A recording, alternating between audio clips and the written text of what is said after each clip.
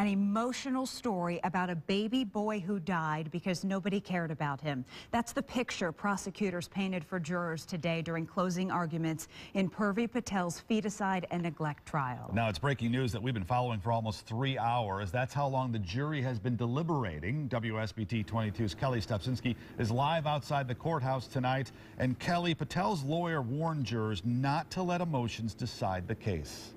In closing arguments, Rick, he told them, this is a hard case. I don't have to like it, and neither do you but you have to do what's right. Also in closings, the, de the, deputy prosecuting attorney for the state told jurors Patel's intent was to give herself an illegal abortion, and that is what prosecutors say she did. This whole production is about a little boy, said Deputy Prosecutor Mark Rule. He wasn't expected, he wasn't wanted. He lived a brief and horrible life. What happened to him was very, very wrong. Rule reminded jurors about the details they've already heard. That baby was born on the bathroom floor at Patel's home. She wrapped him in plastic bags and put him in a dumpster behind Moe's Southwest Grill in Mishawaka, a restaurant her family owns.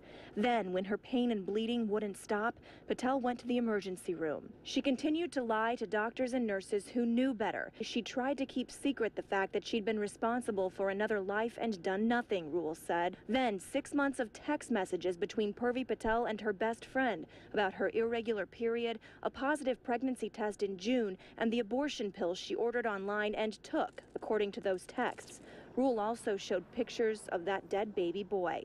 The state wants to talk about things that are emotional, that will tug at your heartstrings, that will make you ignore the lack of evidence presented in this case, said Patel's lawyer, Jeff Sanford. But that's not the decision of a jury. Otherwise, we could take her out front and hang her. He went on to remind jurors the state had no evidence of the drugs in Patel's blood and no proof she even received them from an online pharmacy. He also told them the state did not prove Patel committed feticide or neglect. I don't like these pictures any more than you do because they remind me of my own children, Sanford said. If I had to make a decision on my emotions, I probably would have ended up in jail a long time ago. But this is a court of law. And if the state is going to accuse somebody of an A or B felony, then don't you think we ought to have the evidence to support the charge? Also in closing arguments and jury instructions, jurors got a, a, reminder of what feticide, abortion, and neglect laws say. Rule told them you can have feticide with a live birth. He also reminded them the law says any type of do-it-yourself abortion is illegal. The law says you have to be under a doctor's care.